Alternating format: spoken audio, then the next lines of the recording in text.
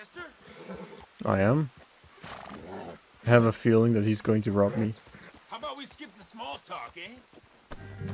Yeah, how about we do that?